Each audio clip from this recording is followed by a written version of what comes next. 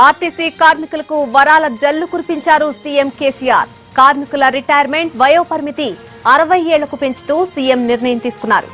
యాభై రెండు రోజుల సమ్మె కాలానికి జీతం చెల్లిస్తామని సీఎం చెప్పారు.